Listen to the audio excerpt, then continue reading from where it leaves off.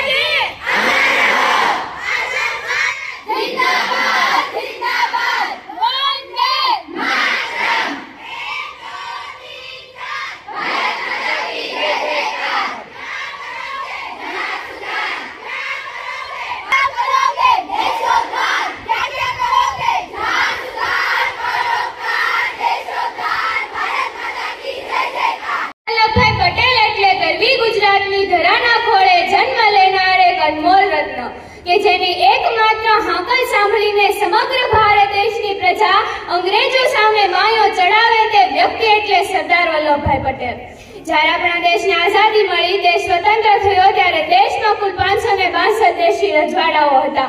તેનું એકત્રીકરણ કરવું અને એક અખંડ ભારતની રચના કરવાની હતી. તો તે મહત્વપૂર્ણ કામગીરી કે જે સરદાર પટેલે કરી બતાવી? પાંચ વર્ષ પહેલા મેં નક્કી કરેલું, જ્યારે પહેલી મારી બોડી આવી ત્યારે એ તમામ એકથી ત્રણ ધોરણ એકથી ત્રણમાં નવ, દસ, અગિયાર, બાર કોમર્સ આર્ટ્સમાં જે વિદ્યાર્થીનીઓ આવે, તેમને આપણે શિલ્ડથી નવાજીત કરી અને એનો ઉત્સાહ વધારવો. અને એને માટે અમે આજે મને પાંચ વર્ષ જેવું, સાડા ચાર વર્ષ જેવું થઈ ગયું ને આજે મને એનો મોકો મળ્યો છે. ને એનો ખાસ તો હું રમેશભાઈનો આભારી છું કે જેણે મારી મારી વાતને માની. અત્યાર સુધી તમામ તમામ પ્રમુખો તમામની સાથે મેં આ વાત કરેલી. પણ કોઈ મારી સાથે આ આ રહેતા નહીં. પણ એણે મને મને અ, શીખ ઓફિસર પાસે લઈ શીખ ઓફિસર પાસે લઈ જાય અને આખી વાત આ કરી क्योंकि तिरंगा हो कफन मेरा बस यही अरमान रखती हूँ परम श्रद्धेय गुरुजनों एवं यहाँ उपस्थित वडीलों मैं भेसानिया आस्था आज देश प्रेम और राष्ट्र निर्माण के उपलक्ष्य पर अपने कुछ विचार आप सभी के साथ साझा करना चाहूंगी आजादी आजादी का असली मतलब वही समझ सकता है जिसने गुलामी की हो हम सौभाग्यशाली हैं कि हमने स्वतंत्र भारत में जन्म लिया। प्राचीन, मध्यकालीन और वर्तमान भारत के उदाहरणों से मैं स्पष्ट करना चाहूँगी कि जब हम फिरंगियों के फेरे में फंस गए थे तो रंग दे बसंती चोला की एक आवाज़ पर लोगों के टोले के टोले उमड़ आते थे और उनके वंदे मातरम के नारों से खून में आने वाला पाँच पाँच डिग्री का तूफ़ान अंग्रेज़ी शासनों की जड़ों को हिला के रख देता था। लोग मर जाते थे, मिट जाते थे, फांसी पे चढ़ जाते थे तो वो अपनी देशभक्ति साबित कर रहे होते थे। हम ज़रूर लड़ेंगे, अपने हक के लिए और अपनी झांसी से भी रक्षा करेंगे। सिंहासनील उठे राजवंशों में, भक्ति काली थी। उठे भारत में भी छाई, फिर से नई जवानी थी।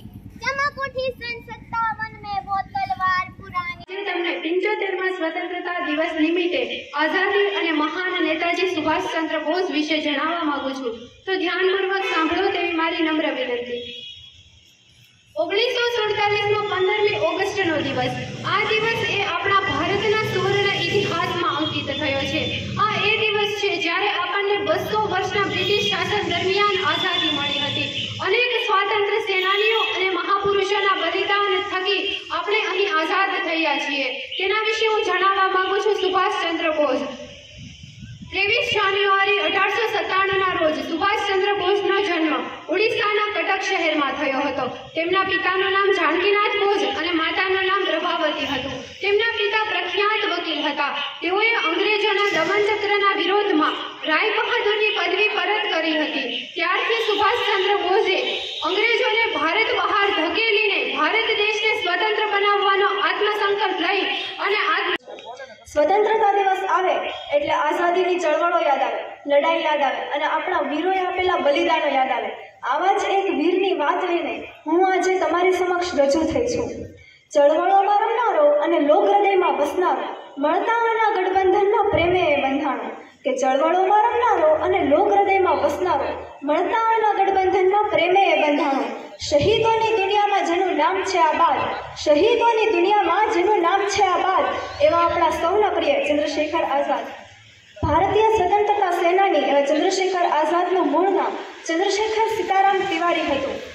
તેમનો જન્મ ત્રેવીસ જુલાઈ ઓગણીસો છના રોજ મધ્યપ્રદેશ રાજ્યના સાબવા જિલ્લાના ભાબરા નામના ગામે થયો હતો. તેમના પિતાનું નામ પંડિત સીતારામ તિવારી અને માતાનું નામ જગદાની દેવી હતું. પિતા પાસેથી તેમને સ્વાભિમાનતા, સાચા બોલવાનો નિડરતાનો ગુણ વારસામાં મળ્યો હતો. જ્યારે ચંદ્રશેખર આઝાદ બાર વર્ષની થયેલા હતા, ત્યારે તેઓ બનારસ ગયા હતા અને એક સંસ્કૃત પાઠશાળામાં તેમણે જ્યારે આઝાદી કા અમૃત મહોત્સવ કાર્યક્રમ અંતર્ગત દરેકે દરેક રાજ્યમાં, દરેકે દરેક પ્રદેશમાં, દરેકે દરેક સંસ્થાઓમાં જ્યારે આપણે આ એક ખૂબ જ મોટા ઉત્સવની ઉજવણી કરી રહ્યા છીએ, ત્યારે આ ઉજવણીના ભાગરૂપે આપણી સંસ્થામાં નગરપાલિકાના પ્રમુખશ્રી ઉપપ્રમુખશ્રી પદાધિકારીઓ અને કર્મચારીગણ જે કાંઈ પોતપોતાની અનુકૂળતા મુજબ અહીંયા આગળ આપણને સમય આપ્યો. અત્યારે એમની વ્યસ્તતાના કારણોસર એમને આપણી વચ્ચેથી રજા લેવી પડી. થોડી વહેલા રજા લેવી પડી. આપણી આશા તો એવી જ હોય કે હંમેશા આપણો આખો પરિવાર જ્યારે એક સાથે મળેલો હોય, ત્યારે એ આપણને પૂરતો સમય આપે પણ એમની પણ વ્યસ્તતાને આપણે માન આપવું પડે. તો આપણી સંસ્થાના આ સુવર્ણમય કાર્યક્રમમાં પોતાનો કિંમતી સમય આપી અને આપણી વચ્ચે જેટલો સમય પણ ઉપસ્થિત રહી શક્યા એ બદલ સર્વે હોદ્દેદારો અને કર્મચારીગણનો હું આ તકે આભાર માનું છું. તમારો પણ દીકરીઓ ખૂબ આભાર કે તમે આટલો લાંબો સમય સુધી અહીં આગળ ખૂબ શાંતિથી બેઠા રહ્યા અને કાર્યક્રમને આપણે સૌએ ખૂબ માણ્યો. અત્રે એક વિશેષ આભાર એ પણ માની લઉં કે આપણા નગરપાલિકાના પ્રમુખશ્રી રમેશભાઈ કાતરિયાએ આપણને વચન આપ્યું કે આપણી જે કાંઈ જરૂરિયાતો છે. એ જરૂરિયાતોમાં પ્રાયોરિટીમાં ખાસ કરીને આપણી પાછળની દિવાલ, કે જ્યાંથી આપણને ઘણી બધી અસુવિધા થઈ રહી છે, એ દિવાલ ટૂંકા ગાળામાં થઈ જશે. એટલે આપણે એમનો ખાસ વિશેષ આભાર. ખૂબ તાળીઓથી એમને વધાવીએ. સાથોસાથ આપણા નગરપાલિકાના ચેરમેન વિમળાબેન ઉનાગર વતી ગિરધરભાઈએ આપણને વચન આપેલું છે કે આ શાળાનો ટૂંક સમયમાં રંગરોગાન કરી આપવામાં આવશે. એ બદલ પણ આપણે એમાં ખૂબ આભાર માનીએ. એમને વધાવીએ કે આપણા ભારત આઝાદ થયો, એના જે પંચોતેર વર્ષ થયા છે. તો આજના સ્વતંત્રતા સુવર્ણ દિવસના નિમિત્તે હું વીર ભગતસિંહ વિશે મારા શબ્દો રજૂઆત કરવા માંગુ છું. ભગતસિંહનો જન્મ અઠ્યાવીસ સપ્ટેમ્બર ઓગણીસો સાતના રોજ લાહોરના બંગા ગામમાં થયો હતો જે અત્યારે પાકિસ્તાનમાં ઉપસ્થિત છે ભગતસિંહના પિતાનું નામ કિશનસિંહ અને માતાનું નામ વિદ્યાવતી કૌર હતું ભગતસિંહના પરિવારના બધા જ સભ્યો ભારતના આઝાદીના આંદોલનો લડતા હતા તેથી ભગતસિંહ પણ નાનપણથી જ તે ભારત આઝાદીના વિચારો ધરાવતા હતા ભગતસિંહ લાહોરની સ્કૂલમાં ભણવા ઈચ્છતા હતા પરંતુ ત્યાં બ્રિટિશનું સામ્રાજ્ય હોવાથી તે ત્યાં ભણી શક્યા નહીં ત્યારબાદ તેઓ દયાનંદ આર્ય સમાજ સ્કૂલમાં ભણવાનું શરૂ કર્યું તેઓ ભણવામાં એટલા હોશિયાર હતા કે તેમણે સ્કૂલમાં જ પચાસ જેટલા પુસ્તકો વાંચી નાખ્યા જે સ્કૂલની કિતાબ રોશન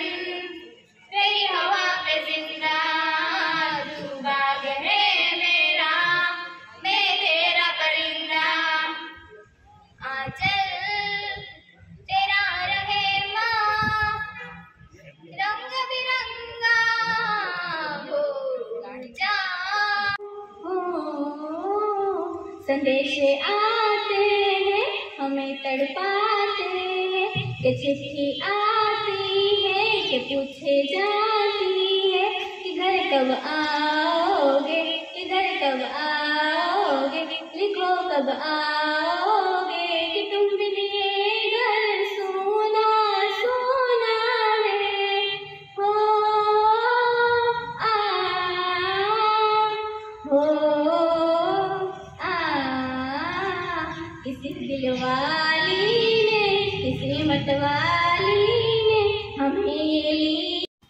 અર્થમાં આમ તો આઝાદી લેવા માટે ઘણા બધા વીરોએ ઘણી બધી આહુતિઓ આપી છે.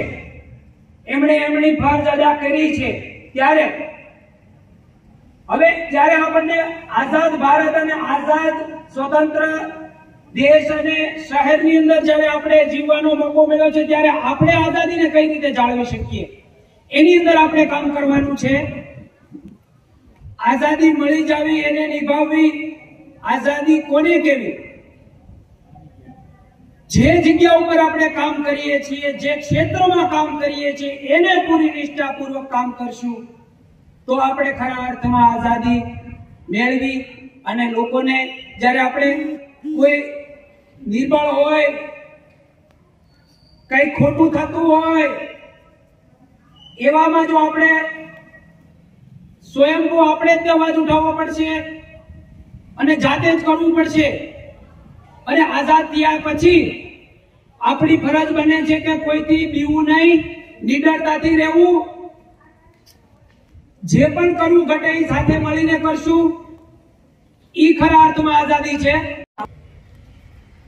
આજે આપણે પંદરમી ઓગસ્ટ એટલે કે ઓગણીસો ને સુડતાલીસમાં આપણો દેશ આઝાદ થયો. અંગ્રેજોની ગુલામીમાંથી આપણો દેશ સ્વતંત્ર થયો. આપણે સ્વતંત્રતા મળી.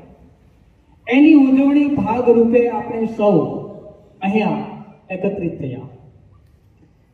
અને એ ઉજવણી આપણે કોઈને કોઈ સ્વરૂપે કરતા જ હોઈએ છીએ. પણ સાચી ઉજવણી કોને કહેવાય? તો કે જે આપણે પંચોતેર વર્ષ પૂરા કરી અને જેની ભવ્ય ઉજવણી છોતેરમા વર્ષમાં પ્રવેશ, મંગલ પ્રવેશ કર્યો. એ બદલ ગુજરાત રાજ્ય સરકાર દ્વારા જે તિરંગા યાત્રા, ઘર ઘર તિરંગો, આ જે યાત્રા છે અને ગુજરાત સરકારની જે આપણે કાર્યક્રમ ઘર ઘર તિરંગોનો, શાળા, કોલેજો, તેમજ નગરપાલિકાઓ, અન્ય સંસ્થાઓ ઘણી બધી છે, જે બધાની અંદર આવા કાર્યક્રમ થઈ રહ્યા છે. તો આપણે સાચી સ્વતંત્રતા તેમજ દેશને, તિરંગાને આપણે માન, સન્માન કેવી રીતે આપવું? તો અત્યારે મોટા ભાગના રાજુલા નગરપાલિકાની અંદર, એટલે કે આખા શહેરની અંદર ઘરે ઘરે તિરંગો છે. આ તિરંગો જે છે, આજ પછી એટલે કે આપણે ગમે ત્યારે લહેરાવી શકીએ, સરકારે લગભગ એવો પરિપત્ર મારી જાણ મુજબ બહાર પાડ્યો છે. પણ એ તિરંગાને લહેરાવવા માટે ઘણા બધા નિયમો છે.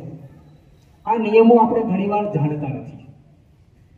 તિરંગો એટલે કે પોતાના ઘર ઉપર લહેરાવી અને પછી આપણે એનું માન સન્માન કાંઈ ન જાળવીએ તો દેશનું તમે અપમાન કર્યું છો તો એના માટે આપણે શું કરવું જોઈએ?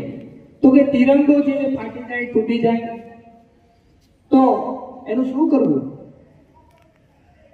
જો પરફેક્ટ એટલે કે વ્યવસ્થિત તિરંગો હોય તો એને આપણે પેક કરી કાગળમાં કે જે કંઈ પણ બોક્સ હોય એની અંદર પેક કરી અને એને વ્યવસ્થિત ઘરની અંદર કબાટમાં મૂકી દેવું જોઈએ.